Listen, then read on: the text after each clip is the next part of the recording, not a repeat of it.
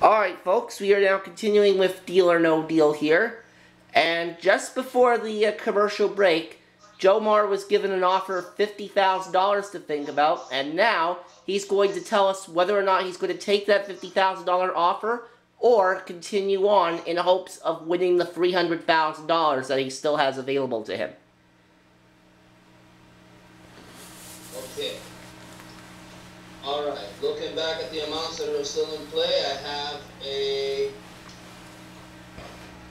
17 point, 17% chance of having $300,000. Hmm. Well, you know what? As much as I want to take this offer, I don't want this video to be too short, so I'm, just gonna sit All right. No deal. He said no deal? Yep, that's what he said. Alright, thanks for uh, the confirmation because I couldn't quite hear him for some reason. But he did in fact say no deal. And Jomar, that means you now select one case at a time. Yes. One one case per round. Okay. All right. The case I'm going to pick for this round will be 18. I want to get the team numbers out of the way. And you got them out of the way on a very good note. Five dollars. Oh, yeah. That'll certainly make the offer go up.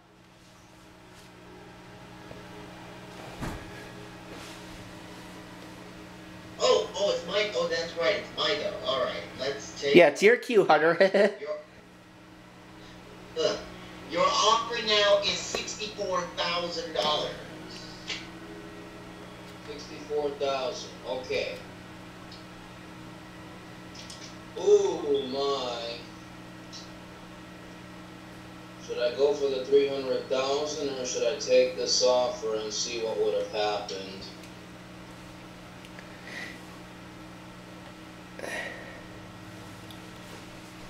Okay. I'm gonna play one more round. No deal. Alright. Very good. Now, you have the three, you have the five, you have the eight, and you have 24 left. Okay, yes, three, five, eight, and twenty-four. Of those four, I'm gonna finish the twenties with twenty-four, and please, come on, we don't see three hundred thousand dollars in there.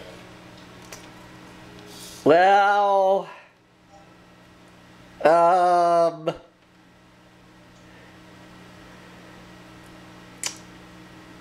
I wish I could be, uh, have good news for you on this one, but unfortunately,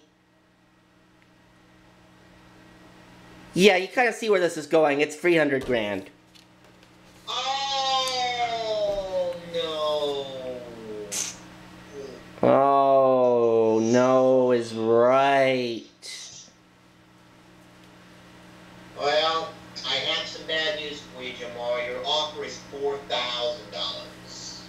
Oh, man. Four thousand dollars, oh god.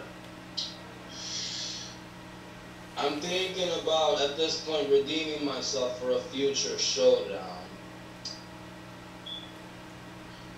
I deserve a redemption for a future showdown. We'll think about that in the future.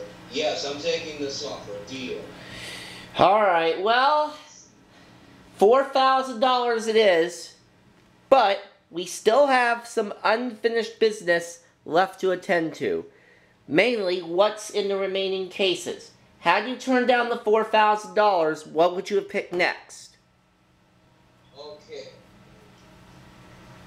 Alright, next I would have picked number five. Okay, number five. Incidentally, 10,000 was the highest that you still had left, and you would have knocked that out had you kept going. Oh, okay, that was a smart move. And Okay, alright. and the bank and the bank offer from Hunter would have been Fifteen hundred dollars. Yikes. And had you kept going after that, what would you have chosen? Okay, so ten thousand dollars would have been gone in number five.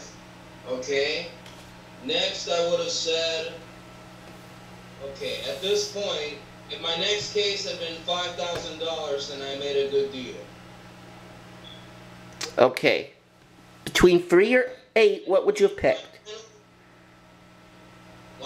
I between three or eight, what would you have picked next? Of those two, my final choice would have been eight.